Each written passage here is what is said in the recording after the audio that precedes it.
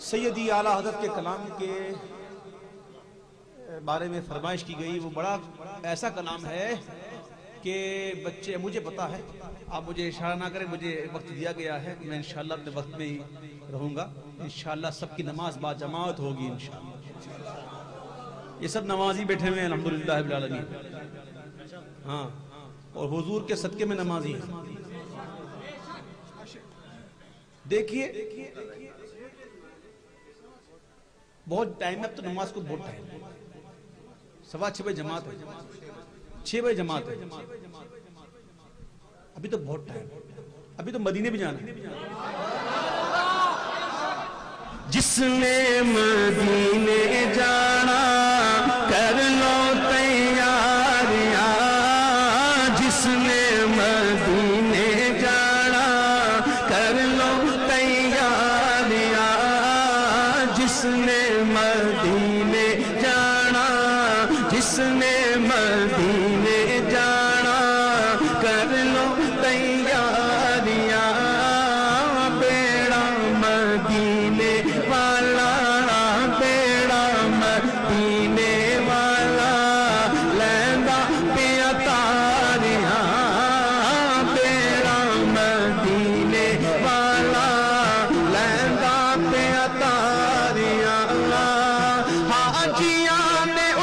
سویرے بے روزے دے نیڑے حاجیاں نے اٹھ سویرے بے روزے دے رو رو کے سونے اگے ارزاں گزاریاں جس نے مدینے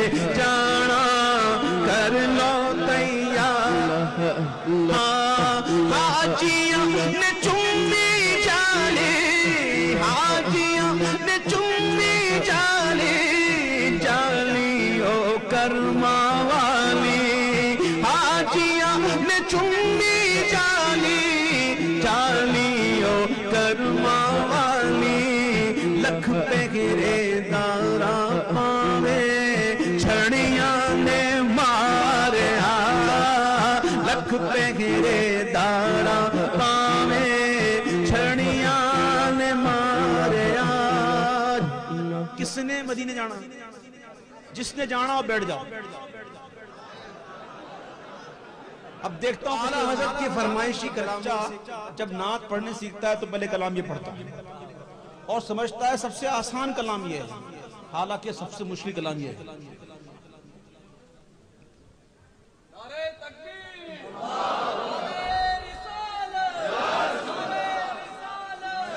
قرآن مجید قرآن مجید فرقان حمید میں یہ آیت کریمہ موجود ہے کہ یہ نبی مومنوں کی جان سے بھی زیادہ قریب ہے۔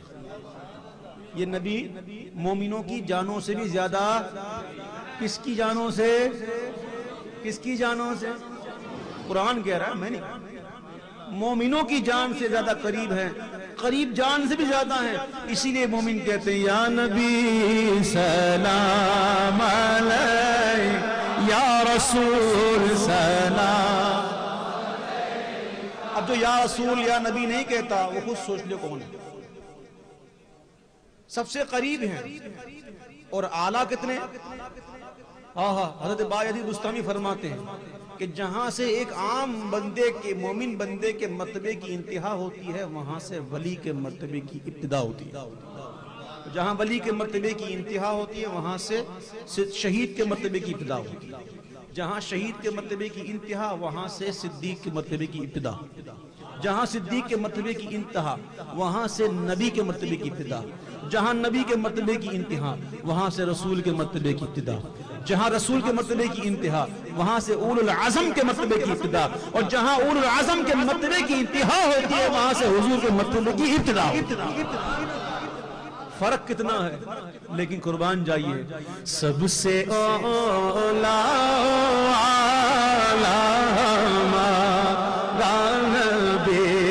سب سے آنا سب سے آنا ہمارا سب سے آنا ہمارا نبی اور سب سے بالا۔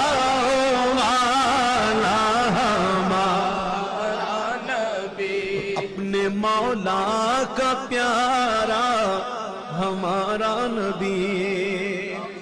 اپنے مولا کا پیارا ہمارا نبی اور دونوں عالم کا دولہا ہمارا۔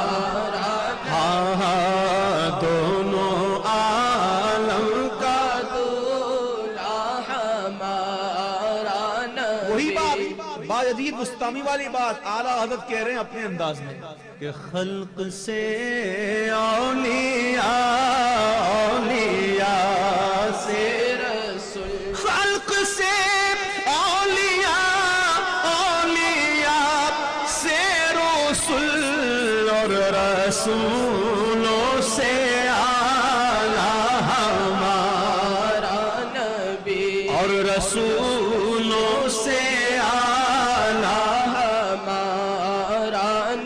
حسن کھاتا ہے جن کے نمک کی قسم۔ ایک شعر کی تشریح سن لیں پھر بعد میں میں پڑھوں گا مکتا ایک شعر کے بعد۔ ہائے ہائے میرے آقا فرماتے ہیں صلی اللہ علیہ وسلم۔ سنیے آقا کا فرمان جب حضور کی بات آئے تو ساری باتیں ختم۔ اور وہ حضور نے فرمایا کہ میرے بھائی یوسف کو میرے حسن کا نصف ملا۔ آدھا۔ نصف کا عالم کیا تھا؟ کہ حسن یوسف پہ کٹی، کاٹی نہیں کٹی، کاٹنا اور ہے، کٹنا اور ہے۔ کاٹنے میں ارادہ ہے، کٹنے میں ارادہ نہیں۔ حسن یوسف دیکھ کے کٹی، مصر میں کٹی۔ کیا کٹی؟ انگشت۔ کس کی؟ زنا۔ عورتوں کی انگلی انگلیاں کٹی، بے ارادہ کٹی، ایک بار کٹی۔ حسن یوسف دیکھ کر کٹی۔ سر کٹاتے ہیں۔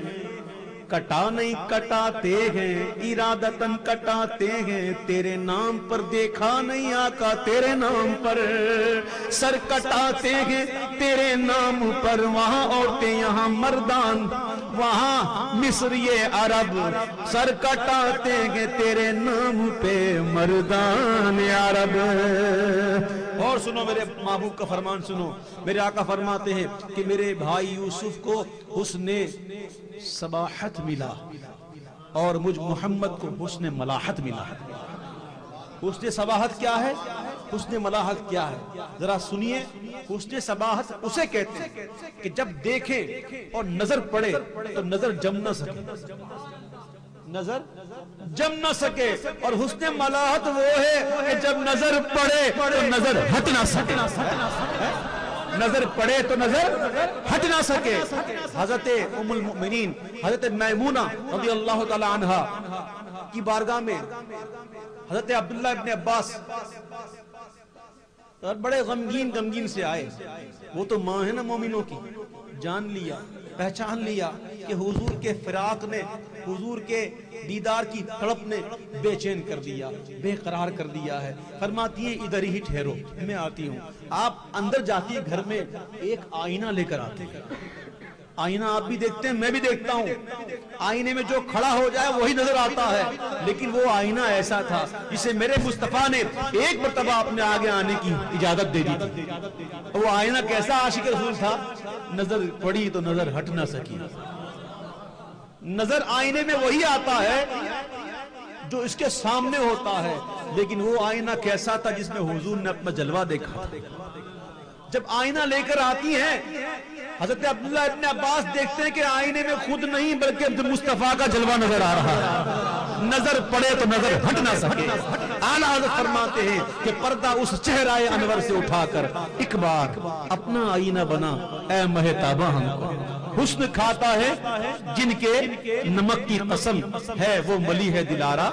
ہمارا نبی اور ہم سنیوں کے آگے چاہے کیسی بھی خوشی ہو چاہے غمی کیوں نہ ہو ہم اپنے محبوب کا میلاد نہیں چھوڑتے۔ خوشی ہو تو پکارتے یا رسول اللہ۔ غمی آ جائے پکارتے یا رسول اللہ۔ یہ کیوں؟ یہ کیوں؟ اس کیوں کا جواب اعلیٰ حضرت سے لیتے ہیں۔ اعلیٰ حضرت فرماتے ہیں کہ ذکر سب پھیکے جب تک نہ مذکور ہو۔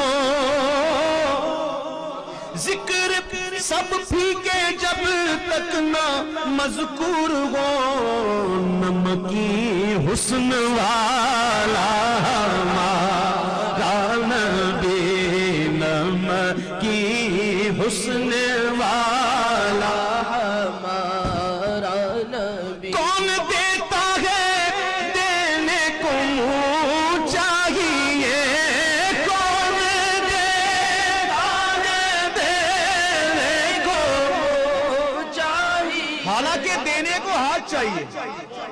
دینے کو ہاتھ چاہیے قربان جاؤں یا سیدی اعلی حضرت، آپ فرماتے ہیں دینے کو منہ چاہیے۔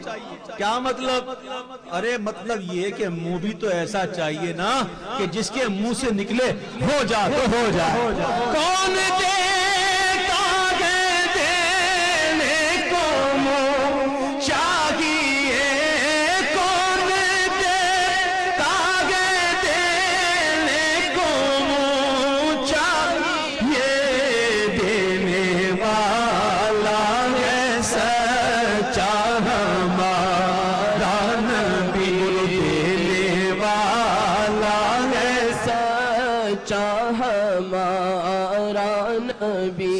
بات سکھاتے یہ ہیں، سیدھی راہ چلاتے یہ ہیں۔ نزع روح میں آسانی دے کلمہ یاد دلاتے یہ ہیں۔ مرقد میں بندوں کو تھپک کر میٹھی نیند سلاتے یہ ہیں۔ اپنے بھرم سے ہم حلقوں کا پلہ بھاری بناتے یہ ہیں۔ لاکھ بلائیں کروڑوں دشمن کون بچائے؟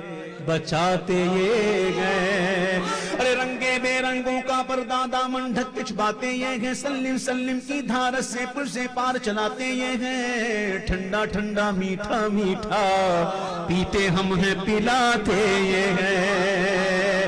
قصر دنا تک کس کی رسائی جاتے یہ گئے آتے یہ گئے کہہ دو خوش ہو خوش رہے۔